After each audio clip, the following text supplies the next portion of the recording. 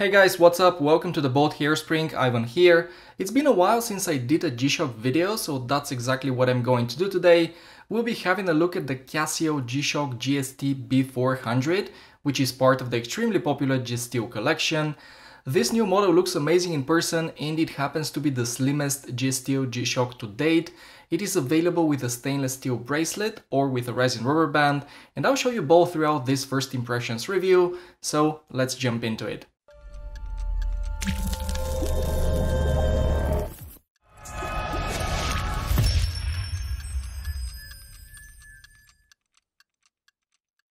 If you need to buy these or any other Casio, Citizen or Seiko watches, then guys check out relojeriaesparza.com who are an authorized dealer of these brands.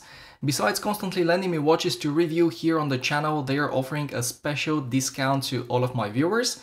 All you need to do is send them a message via the contact info below, tell them I send you and they will give you the best deal they possibly can. Alright guys, you know the procedure, the first thing I'm going to discuss are the dimensions. The case diameter is about 49mm at its widest, but if you measure it diagonally excluding the buttons, then it comes at about 44mm, and that's exactly how the watch wears. As I said at the beginning, the GST B400 is the slimmest G-Steel model that Casio has released so far, and that is a big deal as it will appeal to more people. It is just 12.9mm thick, and that is a whole millimeter and a half less than my GST B200. It may not sound a lot, but trust me, on the rest it makes for a big difference when compared to its predecessors. On my 17cm or 6.7 inch wrist, this watch wears and looks amazing. It's really really comfortable. The short lug to lug of 46.6mm or so definitely helps in that regard. It's also quite light, the total weight of this model unsized comes at about 160 grams, and that's pretty acceptable for a steel watch. The same model with the resin rubber band is even lighter, I didn't weigh it myself, but according to Casio's website, it weighs just 80 grams. To be honest guys, in this particular case, I prefer the resin band over the bracelet simply because it adds some nice contrast to the overall look of the watch. Now let's make a quick comparison between the GST B400 and my GST B200 that I've had for a while now. At a first glance they look very similar in size and that's because they have about the same case diameter. Look carefully though and you will see that the lug-to-lug of the B400 is way shorter, making the wearability great for people with even smaller wrists than mine. And once again, the slim profile of 12.9mm makes the watch very versatile and cuff compatible, which is great for those like me who enjoy wearing their metal G-Shocks with both sportwear and formal attire. When it comes to design, the GST B400 resembles the GST B100 in the bezel and the turbine-inspired subdial at 9 o'clock, but then the case is quite different. As you can see, it's much more angular and that gives the watch a very cool, tough and aggressive look. Personally speaking, I'm quite pleased with what Casio has done with this model and I do think that it looks much better than the GST B300. The build quality as expected is fantastic and the finishing is great as well. The case is mostly brushed, but you do get some high polished bevels on the bezel and the case. The only area of improvement is definitely the clasp of the bracelet, it's made of pressed metal and therefore it feels a little bit cheap. Other than that, no complaints really, the watch features the carbon core guard for improved shock resistance and just like most other G-Shocks, the water resistance is rated at 200 meters.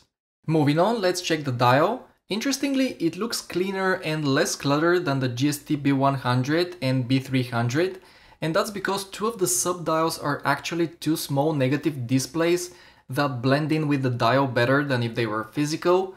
And because these displays are in charge of giving you all sort of information such as the date and the running seconds, there is no date window and no seconds hand. My favorite part here is definitely the 3D looking hour markers, as they give a lot of depth to the dial.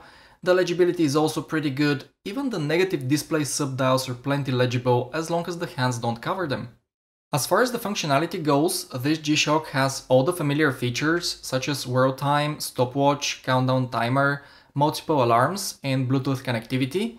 The module inside is solar powered, so as long as you occasionally expose the watch to some light, you can use all the features as much as you want without having to worry about the battery. So guys, for the money, this GST B400 is what I consider a complete package as it looks fantastic, it wears great, it has plenty of features, but it's not crazy expensive. In Spain, it retails for 399 euro on the bracelet or 319 with the resin band, but with G-Shock you almost never pay retail. In fact, at the moment of recording this video, relojeriaesparza.com has them listed with 15% off, but remember that if you contact them prior to purchasing, they will adjust the price for you even more. As you can tell, my first impressions of these two are very positive. This new G-Steel is definitely something that as a G-Shock fan I would wear. The previous model, the B300, didn't impress me at all, but with this one Casio has done a much better job and I'm sure that they will sell many of these. Right now the other color variants are not available in Europe yet, which is a real shame as the all black coated model with the blue dial looks stunning and I'm really looking forward to seeing it in person. I also expect Casio to release some special and limited editions of this model, so keep your eyes open in case you're interested in getting one. And that's the end of today's video guys, let me know what you think about the GST B400 in the comments below. Thank you very much for watching and thank you for subscribing to my channel, I really appreciate it and it really motivates me to continue making more videos for you. In the next few days, I'll be showing you some titanium Citizen Dive watches, and I've purchased a Casio MRG which I'll also review in a couple of weeks, so hit that bell icon to turn the notifications on. As always, take care and I'll see you in the next one.